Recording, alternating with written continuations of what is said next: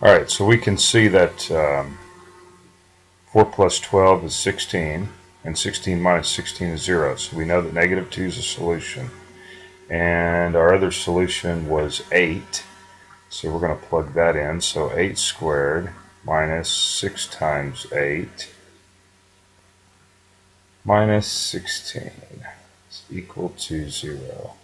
So 8 squared is 64 minus uh, 6 times 8 is 48.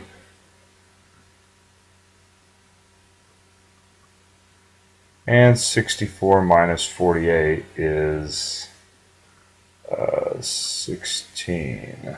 Should be 16. 16 minus 16 is 0. Alright, so you want to make sure that you check your uh, check your work every time. Okay, so let's get started with another one. So this time, I'm going to 9x squared plus 6x plus 1 is equal to 0. So we take a half, we multiply it by this number here, the middle term, which is 6, and then we square the whole thing. Okay. So that would be 3 squared. Alright, so half of 6 is 3, then we square it, and we get 9. 3 squared is 9. So I'm going to write 9x squared plus 6x, and then we have a blank here, and then plus 1. So we're plugging the 9 into the blank. Remember we must put a negative 9 outside. Alright, now, I'm going to rewrite. Oh, and I made a mistake. Darn. Okay.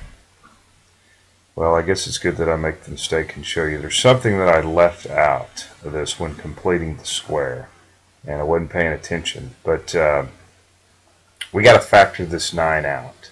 Okay? we got to factor out the 9. So I'm just going to have to start over on this. Sorry about that. It's okay though.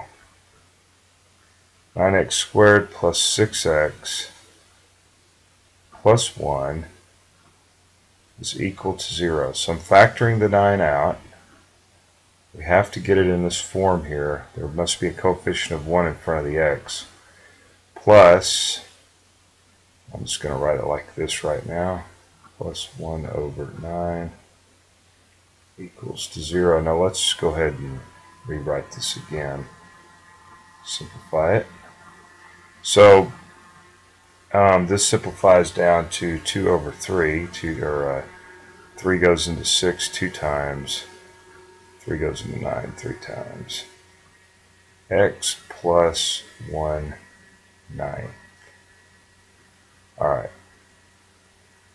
Enough. Then we're going to take uh, half this middle term. So we write two thirds here and then we want to square it. So we end up with one third after simplifying this down a little bit. Squared becomes one ninth. Okay, so now, now we can't forget this 9 out here, even though it doesn't really make much of a difference in the long run. Alright, x squared plus 2 thirds x. We have a blank. Rewriting the end term. So the blanks, what goes in here? 1 ninth goes in here. It's always a plus here. So we have minus 1 ninth. Right, it's all set equal to 0. So we have 9. Start a parentheses we have x plus, then we take a half of 2 thirds, so a half times 2 thirds is just going to end up being one third squared, 1 ninth minus 1 ninth is 0, so we don't have to write anything there. Alright. And then we're solving for this piece right here. Now you can multiply both sides by 1 ninth to get this 9 to go away.